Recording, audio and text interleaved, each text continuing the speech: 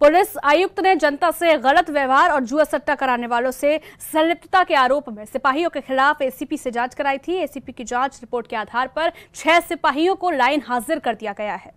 खनन के लिए चर्चित खेरागढ़ सर्किल के तीन थानों के छह सिपाहियों को लाइन हाजिर किया गया है। इन पर आरोप है कि जनता से व्यवहार ठीक नहीं है। अपराधियों से साठ गांठ रखते हैं। जुआ सट्टा करने में लिप्त हैं। मामले में एसीपी खेरागढ़ ने गोपनीय जाँच की। उनकी रिपोर्ट के आधार पर प्राथमिक कार्यवाही की गई है। विभागीय जाँच की भी संतुति की गई है। यह सर्किल खनन के लिए चर्चा में रहता है। पूर्व में कई पुलिस कर्मियों पर गाज गिर चुकी है। डीसीपी पश्चिम जोन सोनम कुमार ने बताया की खेरागढ़ में तैनात आरक्षी आरक्षी चालक मनोज कुमार, आरक्षी विशाल राठी, थाना जगनेर में तैनात आरक्षी संजीव कुमार, अक्षय कुमार और थाना बसई जगनेर में तैनात आरक्षी आकाश हुड्डा व प्रवेश कुमार को लाइन भेजा गया है। विभागीय जाँच कराई जा रही है। सिपाहियों के खिलाफ पुलिस आयुक्त ऐसी शिकायत की गई थी। आरोप लगाया गया है की उनका जनता के प्रति व्यवहार ठीक नहीं है वह अपराधियों के साथ साठ गांठ करते हैं। थाने में सिपाहियों की तैनाती से पुलिस की छवि खराब हो रही है। एसीपी खेरागढ़ ने जाँच के बाद रिपोर्ट दी। इसमें लिखा है कि सिपाहियों की अपराधियों से साठ गांठ से इनकार नहीं किया जा सकता है। इस आधार पर कार्यवाही की गई। पुलिस आयुक्त जे. रविंद्र गौड़ लगातार पुलिस की कार्य प्रणाली को सुधारने की कवायद में लगे हुए हैं। पुलिस कर्मियों को जनता के प्रति मित्रवत व्यवहार के लिए दिशा निर्देश दे चुके हैं। इसके अलावा बीट पुलिसिंग में सुधार के लिए कहा गया था। खेरागढ़ सर्किल के थाना पूर्व में खनन के लिए चर्चाओं में रहा है। राजस्थान से आने वाली खनन की गाड़ियाँ इन क्षेत्रों से निकलती हैं। पूर्व में सौ से अधिक मुकदमे दर्ज किए गए थे। खनन के वाहनों को पकड़ा गया था। मार्ग में कैमरे लगाए गए। पुलिस की ड्यूटी भी लगाई गई थी। अब इन थानों के ही सिपाहियों की शिकायत पुलिस आयुक्त तक पहुँची है। कार्यवाही में पुलिस कर्मियों में हड़कंप की स्थिति है। आगे भी कार्यवाही हो सकती है। देहात क्षेत्र के कई थानों की शिकायत पुलिस आयुक्त तक पहुँची है। सी न्यूज़ के लिए संदीप शर्मा की रिपोर्ट।